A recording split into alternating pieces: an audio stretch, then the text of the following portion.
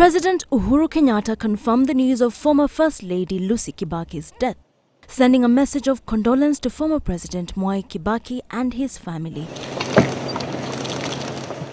The news of her death coming at a time when Lucy had disappeared from the public eye. Her last public appearance was during the promulgation of the Constitution in 2010.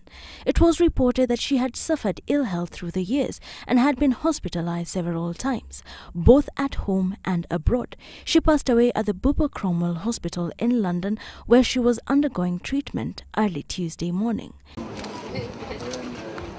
Lucy Kibaki will be remembered for redefining the role of the First Lady in the country and giving the First Lady's office clout.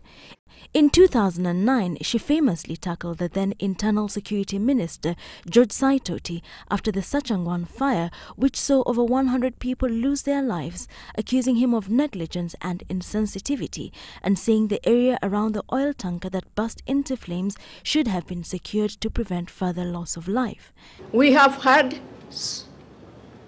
a few, not a few, many incidents like those. Just recently this year, we had one on Thika Road. A petrol tank rose, wananchi rushed there to get petrol. And another one just before Christmas. These things happen and they are ignored by the people in charge. I say here they do ignore. Why? Because they do nothing about it. During Kibaki's term as president, Lucy focused on tackling HIV and AIDS, focusing on women and children. At the time of her death, Lucy was 75 years old. She lives behind four children.